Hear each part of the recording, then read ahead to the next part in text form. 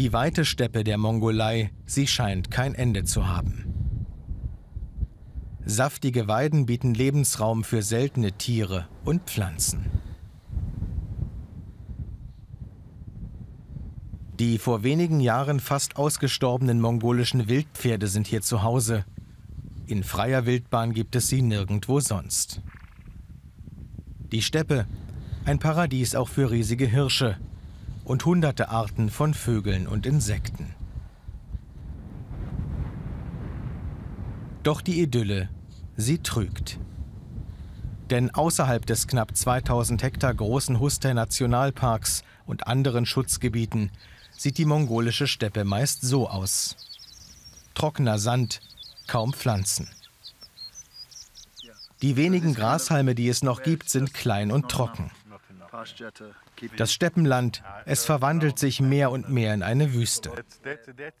Shimet Orchir Basarsat untersucht für die Vereinten Nationen seit Jahren diese Entwicklung. Die Ursache, für ihn ist sie klar. Zu viele Schafe und Ziegen, die das Gras fressen und dem Land keine Möglichkeit geben, sich zu erholen.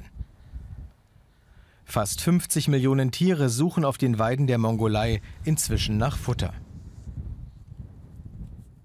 Die Kapazität der Weiden ist weit überschritten, besonders in der zentralen Mongolei, manchmal um das Fünffache. Um die Zahl der Tiere nachhaltig zu verringern, haben die UN-Experten die Idee einer Weidemanagementsteuer entwickelt. Je mehr Tiere ein Hirte hat und je schlechter der Zustand des Weidelandes, desto mehr Geld wird fällig. Damit soll der Anreiz steigen, weniger Tiere zu halten. Denn es gibt Hirten, die haben mehr als 10.000 Kühe oder Ziegen. Narantuya Orchibat gehört nicht dazu.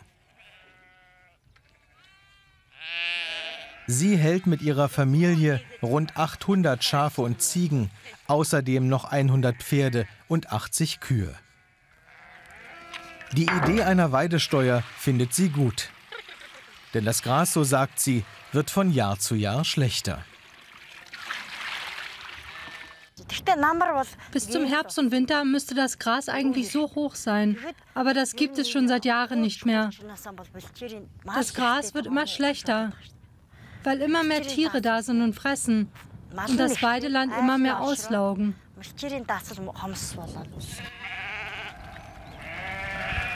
Die 53-Jährige vertritt als Sprecherin rund 100 andere Hirtenfamilien und hat viel Werbung für die Idee einer Weidemanagementsteuer gemacht. Um zu besserem Futter und damit auch kräftigeren Tieren zu kommen, würden die meisten Hirten eine solche Steuer akzeptieren, sagt sie.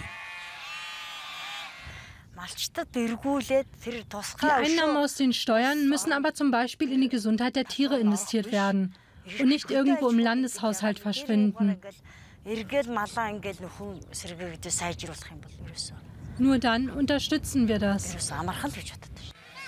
Die Hirtin würde es gut finden, wenn mit dem eingesammelten Geld eine bessere medizinische Versorgung der Tiere finanziert werden würde.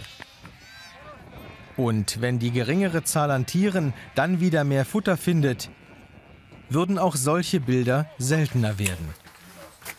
In strengen Wintern sterben bisher regelmäßig Millionen von Tieren, weil sie nicht genug Reserven anfressen konnten. Das hat auch Narantuya Orchibat schon erlebt. In einer Pilotregion haben die UN-Experten bereits erfolgreich einen Notfallfonds aus Steuereinnahmen erprobt. Bei Dürre, strengem Frost oder Seuchen erhalten die Hirten Geld, um wieder auf die Beine zu kommen. Trotzdem gibt es noch keinen konkreten Zeitplan für eine Weidesteuer in der Mongolei. Es gibt da einen Interessenkonflikt. Wenn eine Weidesteuer eingeführt wird, müssen natürlich die mehr Geld bezahlen, die mehr Tiere haben. Und das sind die reicheren Hirten. Und die wollen so eine Steuer nicht. Und genau sie aber haben Einfluss auf die Politiker. Die Politik hat das Problem zwar erkannt, aber es ist eben kompliziert.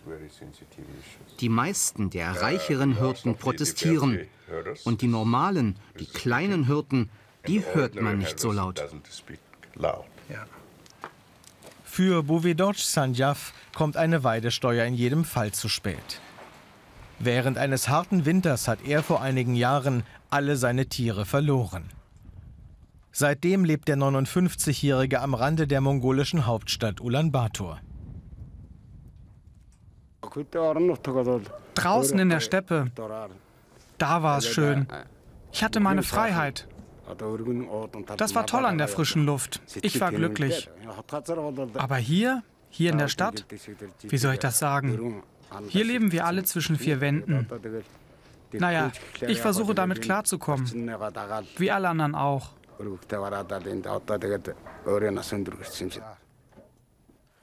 Früher, so sagt Bovedorch, wohnte die Familie fast immer zusammen. Heute besuchen ihn Sohn und Enkelkinder nur noch einmal in der Woche. Der Sohn hat einen Job in der Stadt, kann sich einigermaßen über Wasser halten. Eine Schaf- oder Ziegenherde in freier Natur wie Vater und Großvater aber wird er nie haben. Ich bin eigentlich immer zwischen der Arbeit und zu Hause unterwegs. Der Verkehr ist ziemlich stressig. Ich versuche immer aus der Stadt rauszukommen. In der Natur zu sein, das fehlt mir unheimlich. Stress und Stau. So könnte die Zukunft für immer mehr ehemalige Hirtenfamilien aussehen.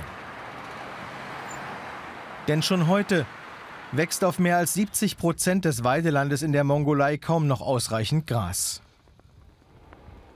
Wird nicht schnell etwas getan, könnten Schaf- und Ziegenherden schon in acht bis zehn Jahren nicht mehr überleben, sagen Experten. Und wilde Pferde gäbe es dann wahrscheinlich nur noch in Nationalparks.